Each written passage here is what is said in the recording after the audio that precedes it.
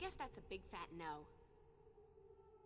Lords of light and dark, guardians of the gate, gate, of the barrier betwixt order and chaos, here are these. This abomination, a wound upon the world, must be sealed. This specter must be anchored to the world of the flesh. Now return form and weight. Now return blood and bone. Take this spirit and make of it flesh. What is this? It can't be. This must be some fortuitous side effect of the dreamer's last burst of power as they died. Well, well, well. Guess this is just your unlucky day. Not to be a killjoy, but the Dreamers had nothing to do with it. It's magic, moron. A spell my friends whipped up. Don't be ridiculous. They would be insane to return me to flesh and you while you were all spooky ghost. Now, though...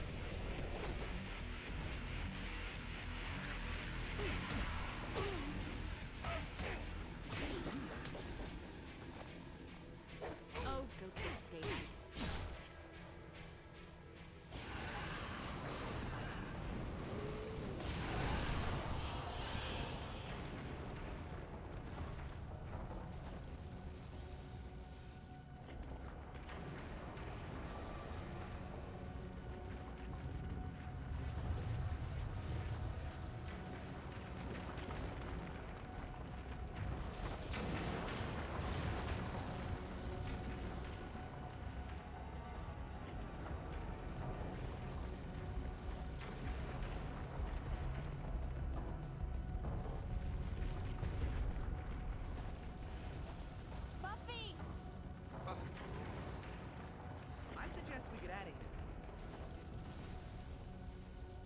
Hurry!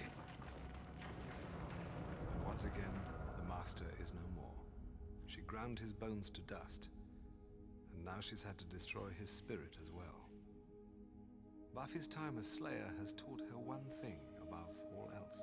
Evil lingers. It's always there, waiting. Fortunately, there is always a Slayer. One girl in all the world. The chosen one. Buffy Summers.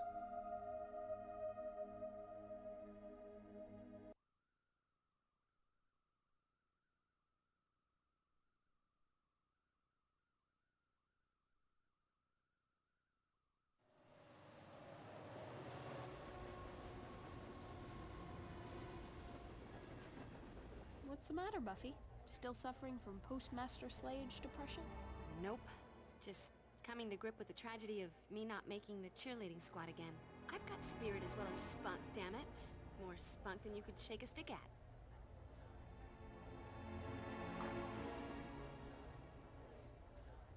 Oh well, duty calls. I'd like to see those pom-pom girls try making my squad.